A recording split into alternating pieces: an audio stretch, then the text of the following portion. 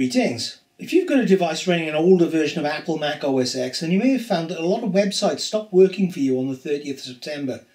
This is all down to an expired certificate. Certificates are used, amongst other things, to ensure that the website you're visiting is the website you're trying to visit and not some imposter.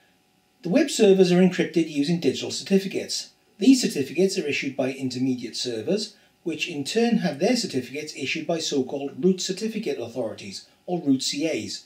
If the chain of trust is complete all the way to the top, the computer trusts the site and all is well. DST Root CA X3 expired on the 30th of September 2021, which broke all that.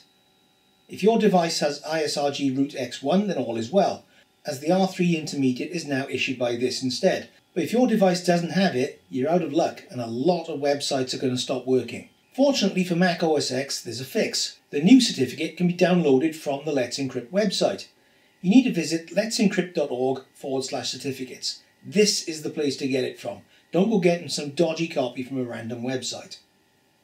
Unfortunately, that page uses the new key, and as it's a HSTS site, you can't just ignore the error, you can't view it.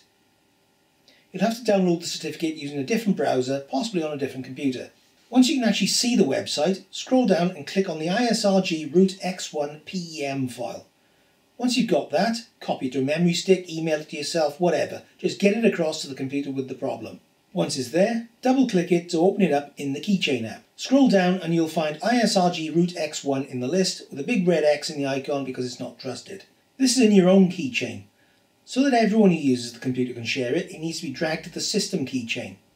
You'll need to enter an administrator password at this point, Depending on how your device is set up, you may just be able to enter your usual login details again, as though you've just switched the device on. Otherwise, you need to contact whoever is the administrator for your system. Clicking the system keychain now, you should see that same ISRG root X1 certificate. Double click it to open it up, and then click Trust to expand the list. Pull down the top option for when using this certificate and choose Always Trust. When you click the red X to close the window, you'll get another prompt for an administrator password. Enter this and that's it you can see that this certificate is now marked as trusted for all users.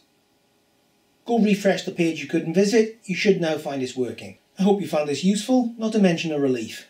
As for why someone would still be using an old version of OS X, well it's not a free upgrade if you're then going to drop a small fortune on a new version of an app, just because it's seemingly been blocked from newer OS versions. Or you may be using old hardware which just isn't compatible with newer releases. Anyway, thanks for watching.